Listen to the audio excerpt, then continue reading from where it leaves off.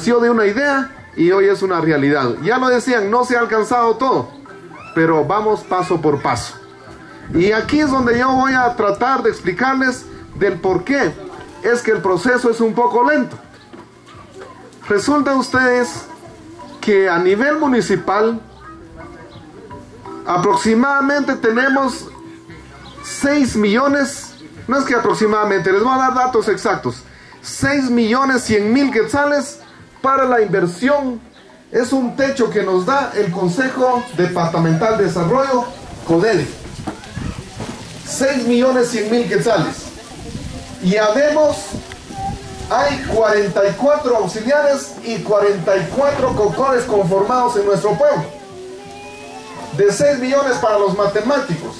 Si venimos y hacemos una distribución equitativa, ¿cuánto le corresponde a cada comunidad o a cada autoridad?